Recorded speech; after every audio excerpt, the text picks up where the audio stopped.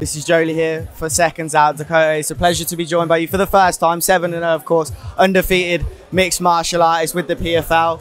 Good to speak to you. How are you? I'm really well, thank you. Yeah, I'm good. Okay, so I didn't expect to see you here, so why don't you explain? Obviously, with the PFL, there's ties to this influencer thing now, but what, what exactly brings you here?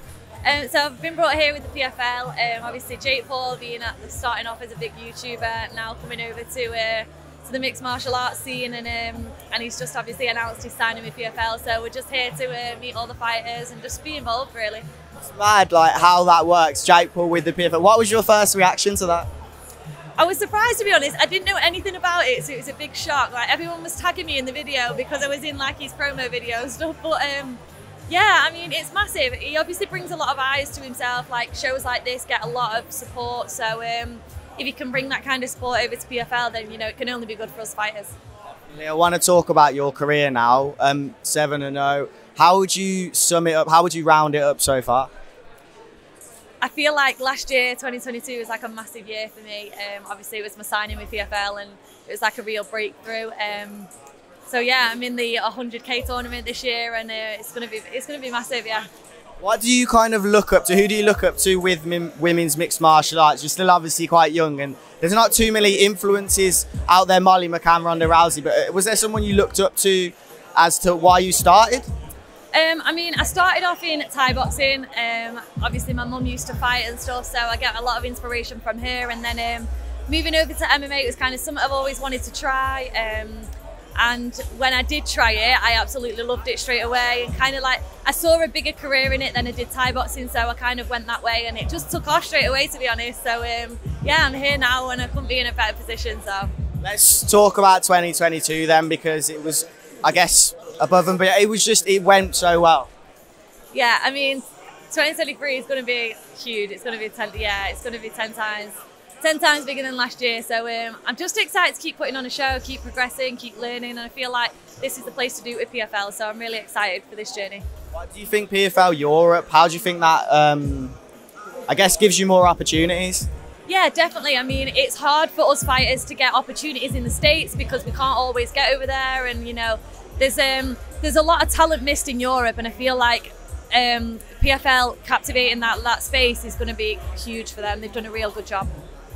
We'll look forward to seeing you fine. Okay, Joe Leigh here for seconds out, joined by Dom Wooding. Good to see you again, bro. Um, since we last spoke, you're now with the PFL, and I know there's DAZN links, and that brings you here today. But um, how are you, and, and how is this new news settling in? Yeah, man, I'm, I'm all good, man. I'm all good. Um, yeah, this new setting, brilliant, man. Like you find like other shows, like Media Run is not as solid as PFL. Do you know what I mean? So obviously, like we're here now today with uh, the DAZN uh, Misfits uh, boxing event, YouTube event, and obviously we've been told to come down to uh, promote PFL Europe as well this season. So it's very good. A lot, a lot of media coverage, which is which is good. How did you get to sign in with PFL? Say again. How did you get to sign in with PFL? Well, PFL they wanted to sign me since um, summer of 2022. But obviously, I was I was still with uh, Cage Warriors, and obviously, I was hold it.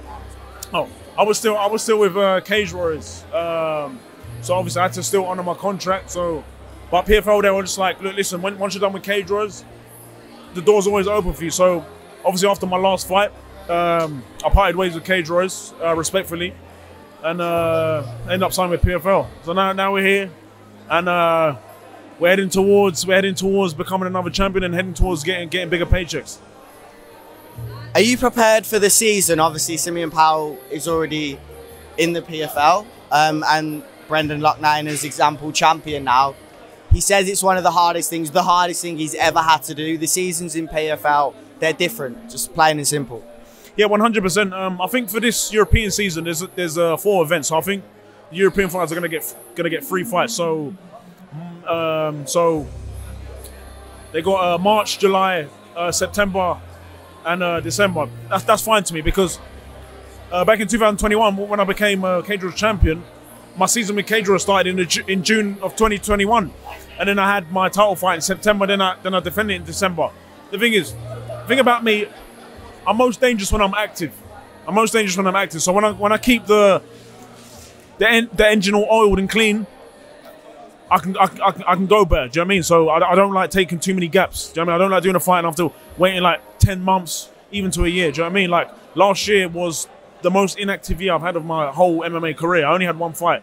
Obviously, there was a lot of ups and downs of uh, me probably signing with the UFC, going down like contenders, but obviously that all fell through. So obviously I had to fight and defend my title again, trying to get the trying to uh, get opportunity to sign with the UFC. But PFL came came at the right time, and and um, I'm very happy to be a PFL. So obviously the the activity, I'm not too worried about that.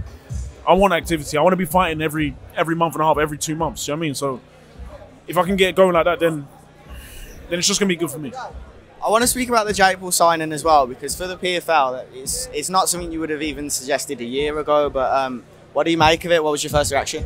Do you know what? When I, when I first saw it, I was just I was like, whoa, like from a business standpoint, great move from uh, Jake Paul and great move from PFL. Do you know what I mean? Like, um, obviously, it's just going to give a lot of attention to PFL as well as MMA and obviously getting fighters paid because obviously that's what Jake Paul's all about. He's all, he's all about getting MMA fighters paid. Do you know what I mean? So. Um, when I saw that, I thought it was a, I thought was a great move, great move from Jake and great move from PFL, and and obviously he's coming, he's going to be fighting MMA as well. So you can only give the guy respect, give give respect where, where it's due. Do you know what I mean? Like he, he he's done the boxing, he's fought some, he's fought some elite fighters. Obviously, he's lost on Anderson Silva. That's my favorite fight of all times. He fought him, and the way he convincingly beat him, you, you got you got to start giving him his, his respect. And now for him to come over to, to, to MMA, it's only big, and he's calling that Nate Diaz. So we'll just we'll, we'll just see. But from a business standpoint, great move from him and great move from PFL. Yeah, we'll save the Anderson Silva impression. I think is that on your Instagram somewhere. Yeah, Anderson. We can save that for another time, but go. People have to check that one out. Um, I want to talk about obviously how you've been since your last fight in Cage Warriors. You've got the PFL signing, but what's it been like coming off the back of a loss, and how have you handled that? Um, do you know what? Look, I've, I've, I've, I've been here before. I've, I've, I've, I've taken learning lessons in my career. It's, it's, it's, it's nothing new to me. Do you know I mean? I know how to pick myself back up. Um, now that I'm with a new promotion, there's new goals and there's a new drive. Do you know I mean? And the thing is, there's a lot of money on the line as well. So I don't have a title to pick up. Do you know I mean? So um, I've dealt with I've dealt with a, with, with a learning lesson good. I think. Um, like I said, I know I how to pick myself back up and, and go back to the drawing board and, and, and come back stronger. And and 2023, you, you, you, you're going to see me come back stronger. Right way to end it, bro. Appreciate that. Love. Wicked. Okay, this is Joe Leigh here for Seconds Out. Simeon Powell joins me now, PFL star from the UK. Uh, one of the first, it seems like. We've obviously seen Brendan Loughnane very recently as well. Um, but that's kind of brought you here today through the DAZN with the Misfit stuff.